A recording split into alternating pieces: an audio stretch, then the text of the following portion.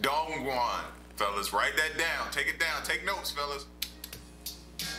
This Chinese city stands out because there are far more women here than men. It's become okay for one man to date several women at once, and what's more, the women themselves encourage such behaviour as they don't want to be left all alone. Dongguan's men often have relationships with two or even three women who treat each other perfectly well, respect their hierarchy and schedule. However, relationships Respects the hierarchy.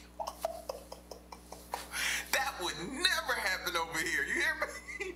never happen over here. Relationships like this can't last forever. A lot of women come to Dongguan to work, which is why there are so many of them in the city. At some point, they decide they want to have a family and a partner for life and go back to their home cities to look for a man there, this time for a long term relationship. Psst, dude, are you?